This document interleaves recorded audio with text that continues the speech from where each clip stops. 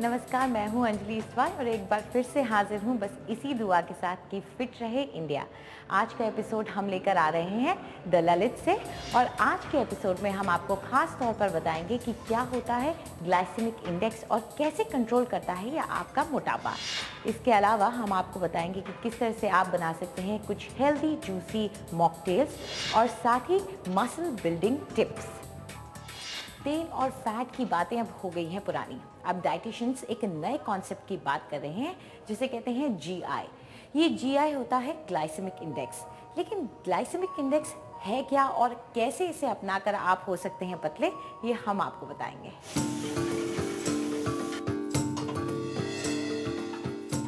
भूल जाइए कैलोरीज और फैट का चक्कर। अब गांठ बाँध लीजिए जीआई का मंत्र।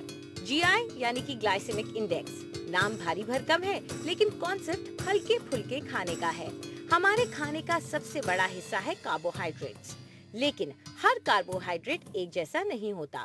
हमारे शरीर में हर खाने का कार्बोहाइड्रेट अलग तरह से असर डालता है और इसकी वजह है इनका अलग अलग ग्लाइसेमिक इंडेक्स जब भी हम कुछ भी खाना खाते हैं, वो हमारे शरीर में जाके शुगर बनाता है।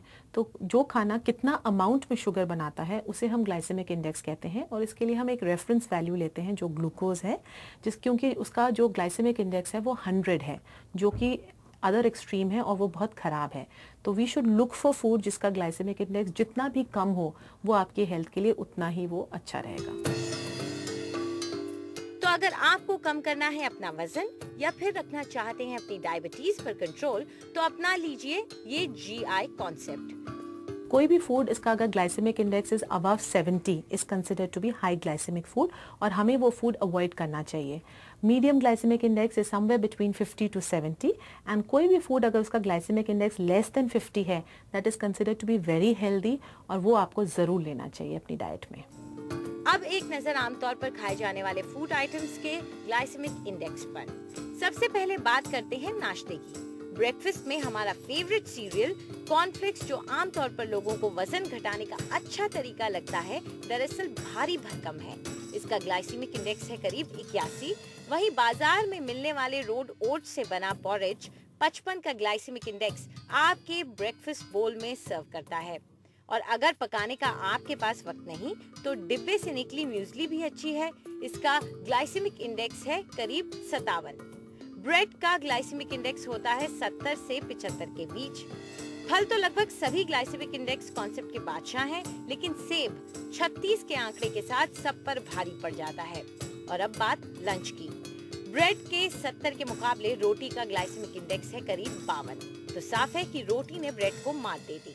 सफ़ेद उबले चावल का भी ग्लाइसेमिक इंडेक्स करीब करीब तिहत्तर है। वही ब्राउन राइस अड़सठ के ग्लाइसेमिक इंडेक्स के साथ हल्का साबित होता है। सभी सब्जियों का तो लगभग बेहद लो ग्लाइसेमिक इंडेक्स होता है, लेकिन आलू से बच कर रही है।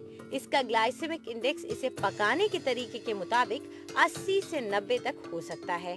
दालों का ग्लाइसेमिक इंडेक्स है करीब 32 लेकिन आपको जानकर हैरानी होगी कि राजमा जिससे अक्सर लोग परहेज करते हैं, वो दालों से कम 24 है।